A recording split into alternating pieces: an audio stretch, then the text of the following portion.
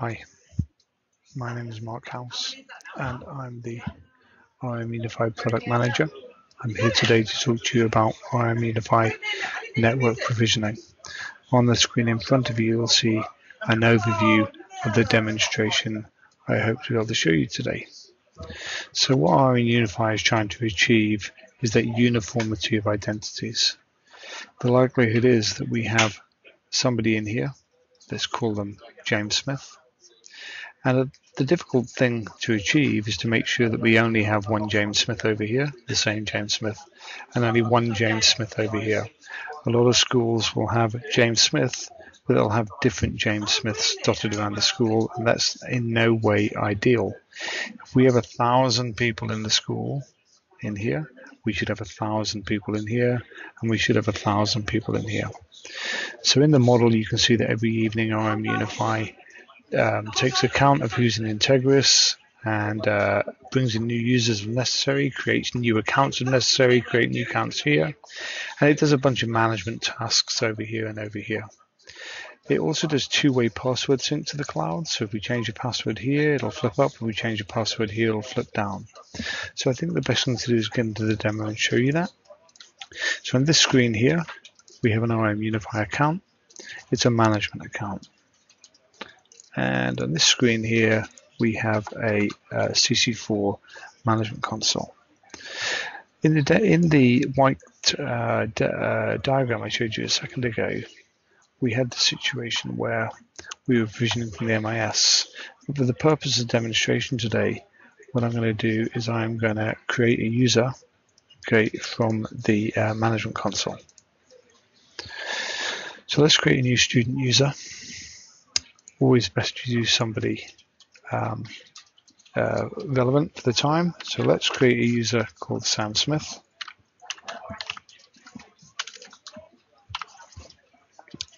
We'll say that Sam is a student. S Smith is a is the name. U of entry 2014. Oops. Okay, Sam Smith, username S Smith. Password, we're going to have S Smith. I know that's not the worst password ever, but it'll help me in this demonstration. And we're going to click OK and that will tell me that the user has been created. Now, as I said earlier, it's going to take five minutes for Sam to appear over here, but we can, if I come to the management console and go to the audit, just check that that's happened. And yes, staff number one has created a new user called Smith right here. Okay, on this side, why don't we do the password piece? So let's find a user my favorite DJ Trump. And let's change Donald's password. Password is going to be great because Donald is always great. Click OK and his password is changed. Perfect. All right. So while we're waiting for the magic to happen between these two sides in the audit report, let's just investigate a bit further. You can see that the audit report itself gives you second by second descriptions of what's happening both in your cloud and in your network. I could, if I want, just check the cloud and see what's been happening on the cloud. I could check the network and see what's been happening on the network. I might want to on the cloud, for example, to see, well, have there been any manual users created? And yes, there have, and one we know that's been created has been Sam Smith. I could say, have there been any users created in the AD? And they have, including all these guys over here. But as yet, we're not seeing Sam Smith. I could, for example, see whether there has been anybody AD password changes detected and they have. There's been a bunch of passwords detected over here. We haven't yet seen uh, DJ Trump's um, one uh, recorded in the admin console yet.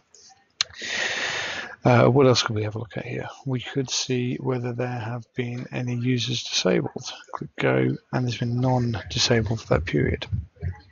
So you can see that by granulating by time, you can always have the perfect uh, picture of what's going on in your domain. So let's see whether or not enough time has passed for us to be able to see whether uh, uh, all those changes have been made.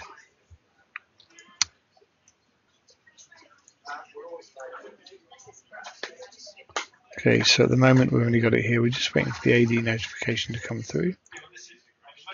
As I say, uh, a couple of times we've done it, so we can see here, for example, that some I was uh, uh, playing with earlier, that it can be anything up to five minutes. So Theresa May was created at 5.22, and in under a minute, she appeared in the AD. However, some of the other ones, um, sometimes it takes a little bit longer. So uh, Kevin Keegan here took over two minutes to come through. So we're just waiting at the moment for our guy Sam Smith to come through. Should be here any second. So we can see that uh, Donald Trump's password uh, has come through, which is great. And we can see, in fact, that Sam Smith has now been created over here. So I should be able to find now Sam Smith over here. Let me see if I can find him. Whoops. The demo gods need to help me. There he is. So Sam Smith is over here, created in the uh, created manually with staff one, and there's now appeared over here. So let's have a look at uh, Donald Trump and check that everything's okay with him.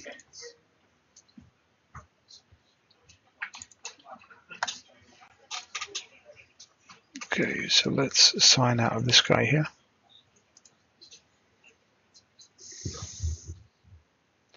And said let's sign in as DJ Trump.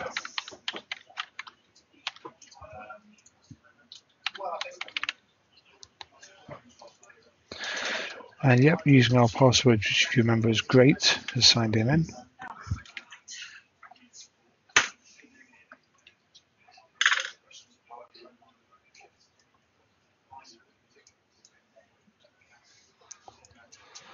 And if I open Internet Explorer, it should fire them straight into RM Unify, which it does.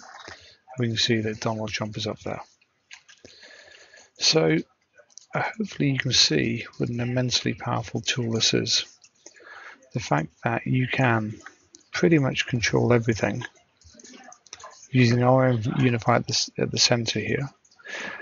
We didn't talk about in this presentation about the fact that all of your classes, for example, come into here. And we didn't talk about the use of devices. We can do that in a separate talk. Thank you very much for your time today. I hope that is useful.